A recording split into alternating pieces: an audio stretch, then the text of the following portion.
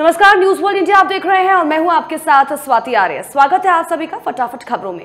छत्तीसगढ़ के दंतेवाड़ा में बड़ा नक्सली हमला हुआ है। इसमें 11 जवान शहीद हो गए हैं। आपको बता दें कि दंतेवाड़ा के अरनपुर में डिस्ट्रिक्ट रिज़र्व गार्ड फोर्स को लेकर जा रहे वाहन पर आईईडी हमला हुआ।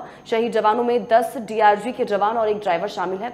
हमले को लेकर सीएम भूपेश बघेल ने कहा कि नक्सलियों को छोड़ा नहीं जाएगा। उत्तराखंड के कैबिनेट मंत्री चंदन राम दास का निधन हो गया है। अल्मोड़ा से बागेश्वर पहुँचने के बाद अचानक उनकी तबियत बिगड़ गई, जिसके बाद उन्हें बागेश्वर के जिला अस्पताल में भर्ती कराया गया, जहाँ उनका निधन हो गया। वो लंबे समय से बीमार चल रहे थे। कैबिनेट मंत्री के निधन पर उत्तराखंड में तीन दिवसीय राजकीय शोक घोषित किया गया है। ग्रेटर नोएडा के गौर सिटी 14 एवेन्यू में भीषण आग लग गई। यहाँ फ़र्स्ट फ्लोर के फ्लैट में आग बताई जा रही है। घटना के बाद आसपास के इलाके में हड़कम मच गया। इस बारे में सूचना पर पुलिस और प्रशासन को दी गई, जिसके बाद फायर ब्रिगेड की गाड़ियाँ मौके पर पहुँची। घटनास्थल पर पहुँचने के बाद फायर फाइटर्स ने कड़ी मशक्कत के बाद आग पर काबू पाया। आम आदमी पार्टी के कैंडिडेट शैली ओब्रॉय और मोहम्मद इकबाल, दिल्ली के मेयर और डिप्टी मेयर बन चुके हैं। उन्हें दूसरे साल के लिए निर्विरोध चुन लिया गया है, क्योंकि बीजेपी के दोनों कैंडिडेट शिखा राय और इसी के साथ ही सोनी पांडे ने चुनाव के एन पहले अपना नामांकन वापस ले लिया था। बीजेपी की ओर से आरोप लगाया गया कि आम आदमी पार्टी संविधान के तहत काम नहीं कर रही है।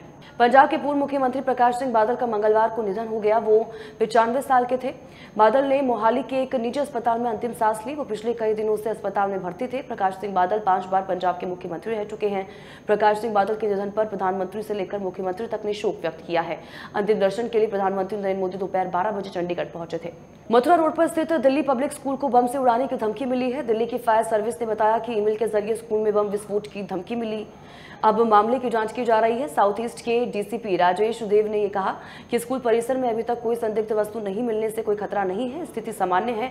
Bomb disposal squad dog squad और इसी के साथ ही स्वाट टीम स्कूल की इमारतों को सैनिटाइज कर रही है। उमेश पाल हत्याकांड मामले में पुलिस को अब शाइस्ता परवीन की तलाश, शाइस्ता की तलाश में यूपी के कई शहरों में छापेमारी चल रही है, लेकिन कई दिन बीत जाने के बाद भी वो पुलिस की गिरफ्त से बाहर है। सूत्रों के मुताबिक पुलिस को जानकारी मिली है कि शाइस्ता परवीन पति अतीक अहमद और बेटे असद की कब्र पर पहुँच सकती है। ऐसे में पुलिस प्रशासन अलर्ट हो चुका है। महिला पहलवानों के यौन उत्पीड़न मामले में एफआईआर दर्ज करने में आनाकानी करने वाले दिल्ली पुलिस के अधिकारियों पर कार्रवाई हो सकती है।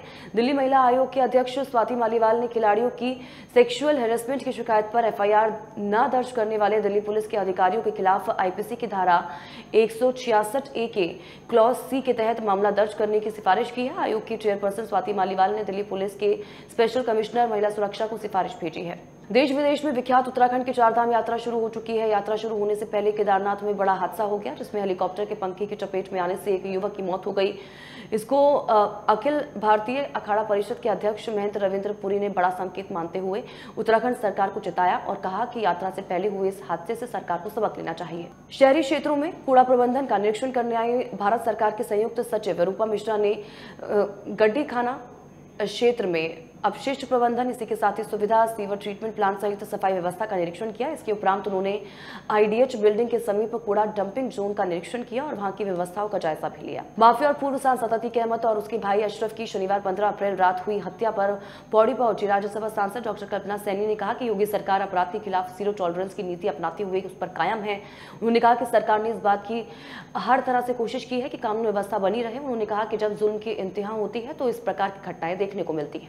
श्रावस्ती में शराब और मादक पदार्थों की तस्करी रोकने के लिए श्रावस्ती पुलिस लगातार कार्रवाई कर रही है। वहीं एसपी प्राची सिंह के पुलिस अधीक्षक श्रावस्ती कार्यभार संभालने के बाद नाजायज कच्ची शराब और नेपाली नाजायज कच्ची शराब तस्करी करने और बिक्री करने वालों के खिलाफ लगातार शिकंजा कस रही है। श्रावस्ती में सस्पेंशन, मर्डर मिस्ट्री का मामला सामने निकल कर आया है, जहाँ चौबीस अप्रैल देर शाम एक तैतीस वर्षीय युवक की संदिग्ध अवस्था में मृत शव पाया गया। सूचना पर पहुँची पुलिस ने शव को कब्जे में लेकर पोस्टमार्टम के लिए भेज दिया है और आगे कार्रवाई शुरू की गई है। झांसी कानपुर हाईवे पर असंतुलित होकर टकराए ट्रक और डंपर की भीषण भिड़ंत में डंपर चालक और क्लीनर की दर्दनाक मौत हो गई। घटना की सूचना लगते ही पुलिस मौके पर पहुँची और डंपर में फंसे चालक और क्लीनर को निकालने में जुट गए।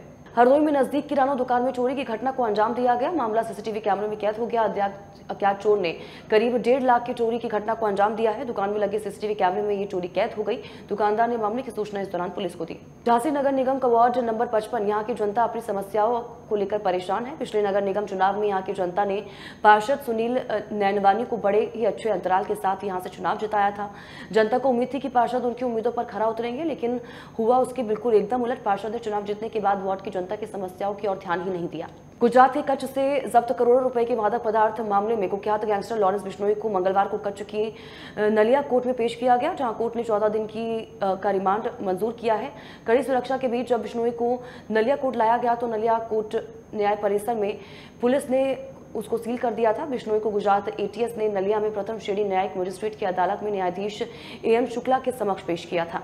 गुजरात सरकार के सुशासन के 20 वर्ष पूरे होने पर राज्य भर में स्वागत सप्ताह का आयोजन किया गया, जिसके तहत अहमदाबाद ज़िले के विभिन्न तालुकों में भी स्वागत कार्यक्रम चल रहा है। जिसके तहत ग्राम विकास एजेंसी, अहमदाबाद के निदेशक ए एम देसाई की अध्यक्षता में धुलेरा तालुका का एक स्वागत कार्यक्रम आयोजित किया गया। इस कार्यक्रम में तेरह आवेदकों के प्रश्नों को सुनकर सकारात्मक समाधान निकाला गया। यूपी की योगी सरकार की पुलिस के डर से बदमाशों में खौफ साफ़ दिखाई दे रहा है। एनकाउंटर के डर से बदमाशों ने अब पुलिस के सामने आत्मसमर्पण का रास्ता अपना लिया है। ताज़ा मामला संभल से है, जहाँ पर आरोपी ने पुलिस के सामने सरेंडर किया। हाथ में पैम्पलेट लेकर थाने पहुँचे गैंगस्टर एक्ट के आरोपी। जाबुल ने सरेंडर करते हुए पैम्पलेट पर लिखा कि, साहब, मुझे गोली मत मारना, मैं गैंगस्टर एक्ट का अपराधी हूँ, साहब, मुझे गिरफ़्तार कर लो। पीलीभीत में अध्यापक पिता के ओनहार बेटे ने हाई स्कूल की परीक्षा में प्रदेश में तीसरी रैंक पाकर जनपद का नाम रोशन किया है। अध्यापकों द्वारा उसको सम्मानित भी किया गया। तो वही छात्र के परिवार के लोग भी इस बड़ी उपलब्धि के बाद फूले नहीं समा रहे। फरुखाबाद हाई स्कूल और इंटरमीडिएट का परीक्षा फल घोषित होने के बाद हर तरफ़ खुशियों का माहौल छा गया है। प्रदेश की टॉप टेन सूची में ज़िले के दो छात्रों ने अपनी मेधा कदम दिखाया। इंटरमीडिएट में छात्र प्रखर सिंह ने पिचानवे दशमलव आठ शून्य प्रतिशत अंक हासिल कर जिला टॉप करने के साथ प्रदेश की टॉप टेन सूची में नौवा स्थान हासिल किया है। महोबा शहर में देर रात पुराने बस स्टैंड में किराने की दुकान में अज्ञात कारणों के चलते आग लग गई। भीषण आग लगने से लोगों में अफरा तफरी का माहौल हो गया। सूचना पर पहुँची फायर ब्रिगेड की टीम ने जब तक आग पर काबू पाया, तब तक सब कुछ जो सामान था जलकर राख हो चुका था। कोर्ट से तारीख कर वापस घर लौट रहे बाइक सवार अधेड़ को गोली मार दी गई। आपको बता दें कि पुरानी रंजिश के चलते कार सवार युवकों ने इस घटना को अंजाम दिया था। घटना के बाद कार सवार युवक मौके से फरार हो गए। गंभीर हालत में अधेड़ी व्यक्ति को मेडिकल में भर्ती कराया गया। यूपी के आबकारी मंत्री नितिन अग्रवाल ने मुख्यमंत्री के बयान यूपी में अब नौ दंगा, सब चंगा पर अखिलेश यादव के कटाक्ष पर बड़ी प्रतिक्रिया दी है। सपा मुखिया पर हमला करते हुए नितिन अग्रवाल ने कहा, जो मुख्यमंत्री रहते हुए, जिसने प्रदेश को दंगा में झोंकने का काम किया, उनके मुँह से ये सवाल अच्छा नहीं लगता है। आज उत्तर प्रदेश की कानून व्यवस्था योगी के नेतृत्व में सरकार चल रही है और एक भी दंगा पिछले छह सालों में नहीं हुआ। उरैया नगर निकाय चुनाव को नशीला बनाने के लिए नेपाल से लाई जा रही नौ करोड़ की चरस, तीन तस्करों समेत औरैया पुलिस अधीक्षक चारू निगम के नेतृत्व में पुलिस ने गिरफ़्तार किया है। पुलिस ने आरोपियों के पास से आठ हज़ार की नेपाली करेंसी भी बरामद की है। खबर उन्नाव से है, जहाँ पर मुख्यमंत्री योगी आदित्यनाथ की जनसभा का आयोजन चल रहा था। हज़ारों की भीड़ भी सभी नेता और पदाधिकारी अपने अपने कार्य में लगे हुए थे। मुख्यमंत्री के आगमन पर उनके स्वागत, सत्कार की तैयारियों में जुटे हुए थे। वहीं जिला पंचायत अध्यक्ष शकुन सिंह के पुत्र और भाजपा युवा नेता एक मजबूर पिता को मदद का आश्वासन देने का कार्य कर रहे थे। घायल हिरण का मृत अवस्था में मिला शव। पानी की तलाश में जंगल से हिरण निकला था। कुत्तों के काटने से मौत की आशंका जताई जा रही है। स्थानीय लोगों ने पुलिस और वन विभाग को सूचना दी। जिसके बाद सूचना पर पहुँची पुलिस और वन विभाग की टीम ने शव को कब्जे में लेकर मामले की जाँच पड़ताल शुरू कर दी है। मुख्यमंत्री योगी आदित्यनाथ को जान से मारने की धमकी मिलने के मामले में कानपुर पुलिस ने आमीन नाम के शख्स को गिरफ़्तार कर लिया है। आमीन अपनी गर्लफ्रेंड के पिता को किसी वजह से फंसाना चाहता था, जिसके लिए दो दिन पहले उसने उनका मोबाइल चोरी किया था और फिर उसी मोबाइल फ़ोन से आसिम ने डायल 112 पर धमकी भरा मैसेज भेज दिया। बदायूं ज़िले के विसौली में नगर निकाय चुनाव सुरक्षा दृष्टिगत मजिस्ट्रेट और पुलिस ने चेकिंग के दौरान कार सवारों से छह लाख बीस हज़ार रूपए बरामद किए। पुलिस को लेखा जोखा नहीं दिखाने पर रुपए जब्त कर गाड़ी सीज कर दी गई। बता दें कि बदायूं जनपद के बिसौली कोतवाली क्षेत्र में नगर निकाय चुनाव सुरक्षा दृष्टिकोण, ये पुलिस की तरफ़ से कार्रवाई की गई।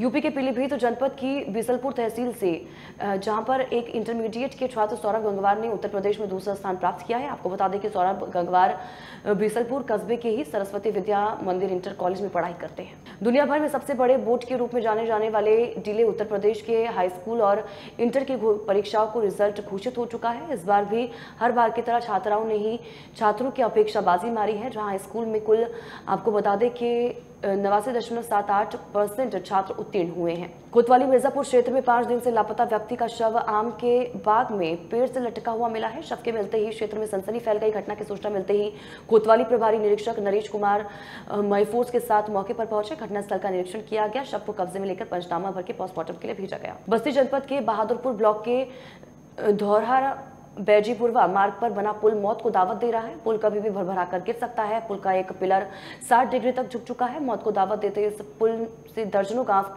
के लोग, लोगों का आना जाना है। गाँव वालों के पास आपको बता दें कि इसके अलावा नदी पार करने का और विकल्प नहीं है। यूपी बोर्ड की हाईस्कूल एवं इंटरमीडिएट परीक्षा को परिणाम घोषित हो चुका है। वहीं महाराजगंज के बच्चों ने अपनी मेहनत के बल पर पूरे प्रदेश में अपना परचम लहराया है। इंटरमीडिएट बोर्ड की परीक्षा में पंडित दीनदयाल इंटरमीडिएट कॉलेज महाराजगंज की छात्रा सोनिया गुप्ता ने छियानवे दशमलव चार शून्य अंक प्राप्त कर प्रदेश में छठवा स्थान हासिल किया। यूपी बोर्ड का रिज़ल्ट शुक्रवार दोपहर बाद घोषित किया गया। हाई स्कूल और इंटरमीडिएट का रिज़ल्ट आते ही कहीं खुशी और कहीं गम का माहौल दिखाई दिया। हाई स्कूल में लड़कों में आदर्श प्रताप ने आपको बता दें कि छियानवे दशमलव छह सात फ़ीसदी और लड़कियों में खुशी यादव ने चौरानवे दशमलव पाँच शून्य फ़ीसदी अंक पाकर जनपद में प्रथम स्थान प्राप्त किया। दिहाड़ी मजदूर में हल्की कहासुनी के बाद एक मजदूर ने दूसरे मजदूर के सरेआम जेल कैंप रोड पर धारदार हथियार से हत्या कर दी।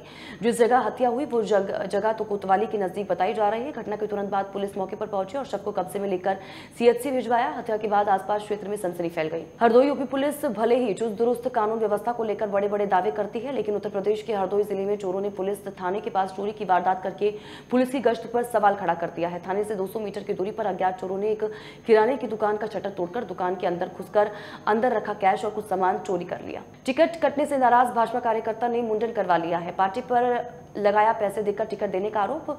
आपको बता दें कि भाजपा पार्टी में सत्रह साल से सक्रिय कार्यकर्ता है वो।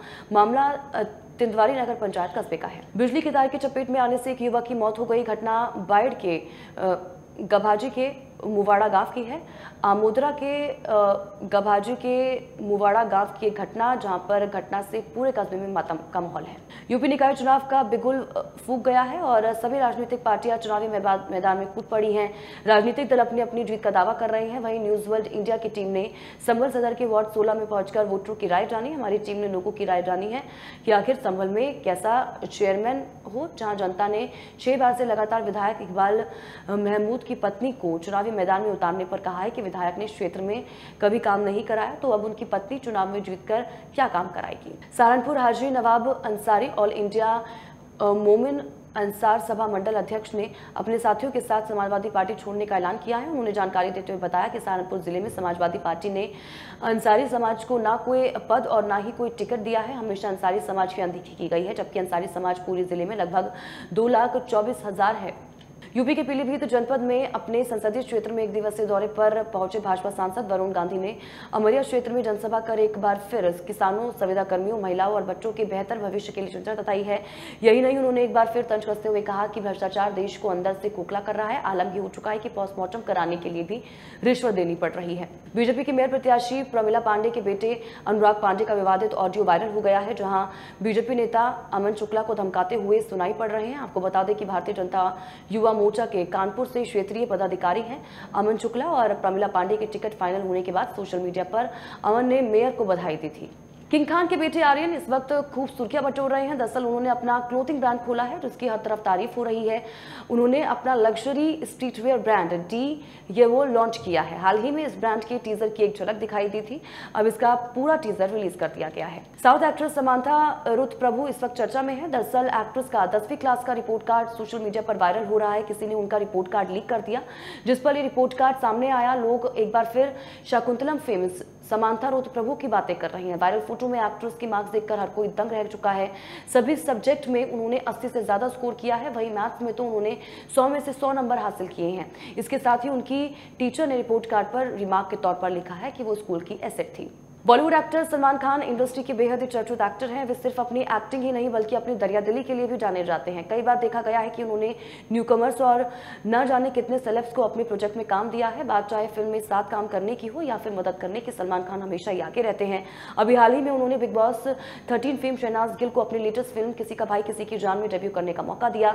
अब खबरें आ रही हैं कि सलमान खान इसी सीज़न में एक और एक्स कंटेस्टेंट को अपनी अगली फ़िल्म में मौका देने वाले हैं। दरअसल लेटेस्ट मीडिया रिपोर्ट के दावा किया जा रहा है कि सलमान खान अपनी फ़िल्म किक टू में एक और बिग बॉस के कंटेस्टेंट को कास्ट कर सकते हैं और ये कंटेस्टेंट कोई और नहीं, बल्कि आसिम रियाज है। सलमान खान की फ़िल्म किसी का भाई, किसी की जान को रिलीज़ हुए पाँच दिन हो चुके हैं। भाईजान के फैंस उनकी फ़िल्म पर जमकर अपना प्यार लुटा रहे हैं। इस बीच अब इस फ़िल्म की रिलीज़ के पाँचवें दिन की कमाई के आंकड़े सामने आ चुके हैं। रिपोर्ट की माने तो सलमान खान की फ़िल्म किसी का भाई, किसी की जान ने अपनी रिलीज़ के पाँचवें दिन, यानी कि मंगलवार को सात दशमलव सात शून्य करोड़ का कारोबार किया, जिसके बाद फ़िल्म का कुल कलेक्शन अब पिचासी दशमलव तीन चार करोड़ रुपए हो चुका है। वहीं सलमान खान की यह फ़िल्म वर्ल्ड वाइड सौ करोड़ से ज़्यादा की कमाई कर चुकी है। मल्टी स्टारर ये फ़िल्म एक फुल फैमिली फ़िल्म है। थिएटर में आप इसे पूरे परिवार के साथ देख सकते हैं। सलमान खान इन दिनों अपनी फ़िल्म किसी का भाई, किसी की जान को लेकर खूब सुर्खियाँ बटोर रहे हैं। हाल ही में रिलीज़ हुई उनकी ये फ़िल्म बॉक्स ऑफ़िस पर धमाल मचा रही है। हर बार की तरह इस फ़िल्म इस बार भी सलमान खान ने फ़िल्म को ईद के मौके पर ही रिलीज़ किया था। इन सब के चलते सलमान खान जमकर सुर्खियाँ बटोर रहे हैं। और एक और चीज़ जिसके लिए सलमान खान सुर्खियों में है, वो है उनकी दुबई ट्रिप। दरअसल भाईजान इस वक्त दुबई में है और सलमान खान के दुबई ट्रिप का एक लेटेस्ट वीडियो सोशल मीडिया पर सामने आया है। इस वीडियो में सलमान खान फैंस के साथ शादी और पत्नी पर मज़ाक करते दिख रहे हैं। सलमान खान के मस्ती भरे जवाब सुनकर फैंस खूब हूटिंग कर रहे हैं। दरअसल सलमान खान ने दुबई जाकर एक इवेंट में हिस्सा लिया था और इस वीडियो में सलमान खान नीचे खड़े अपने चाहने वालों से बातचीत कर रहे हैं। वीवो ने वीवो एक्स सीरीज़ को भारत में आखिरकार लॉन्च कर दिया है। सीरीज़ में दो smartphone Vivo X Vivo X pro शामिल है। X90 सीरीज़ को मार्केट में पहले से मौजूद Vivo X80 सीरीज़ के एक्सेसर के तौर पर पेश किया गया है। X90 सीरीज़ कैमरे पर फोकस करती है Vivo X90 में one 120 hertz refresh rate 2800 into one two six zero resolution के साथ 6.78 इंच का इमोलेट डिस्प्ले देखने को मिलता है, जो बेहतर विजुअल अनुभव प्रदान करता है। रियलमी ने आधिकारिक तौर पर अपने रियलमी 11 सीरीज़ की लॉन्चिंग डेट की पुष्टि कर दी है। हालाँकि कंपनी ने अभी तय तक ही खुलासा नहीं किया है कि सीरीज़ में कितने स्मार्टफ़ोन होंगे। स्पोर्ट्स के, आपको बता दें कि रिपोर्ट्स के मुताबिक रियलमी 11 सीरीज़ में शुरुआत में तीन मॉडल पेश किए जाएँगे, जिसमें रियलमी 11 रियलमी 11 प्रो और रियलमी 11 प्रो प्लस फ़ोन शामिल होंगे। रियलमी ने अपने आधिकारिक वीवो हैंडल पर खुलासा किया है कि रियलमी 11 सीरीज़ के स्मार्टफ़ोन को 10 मई को चीन में लॉन्च किया जाएगा। आपको बता दें कि उम्मीद है कि रियलमी आने वाले दिनों में रियलमी 11 स्मार्टफ़ोन के डिज़ाइन और इसी के साथ ही स्पेसिफिकेशन को टीज करना शुरू कर देगी। व्हाट्सएप अकाउंट मेटा के स्वामित्व वाले मैसेजिंग प्लेटफॉर्म व्हाट्सएप अपने ग्राहकों को कई सुविधाएँ उपलब्ध कराती है और इसके साथ ही प्लेटफॉर्म समय समय पर नए नए फीचर्स की भी घोषणा करती रहती है। इसी बीच व्हाट्सएप ने यूज़र्स को एक और बड़ा तोहफा दिया है। कंपनी ने घोषणा करते हुए बताया कि यूज़र्स अब एक साथ चार मोबाइल फ़ोन पर अपना व्हाट्सएप अकाउंट लॉग इन कर सकते हैं। और इसी के साथ ही हमारी इस खास पेशकश में फ़िलहाल इतना ही। बन रहे हमारे साथ। नमस्कार।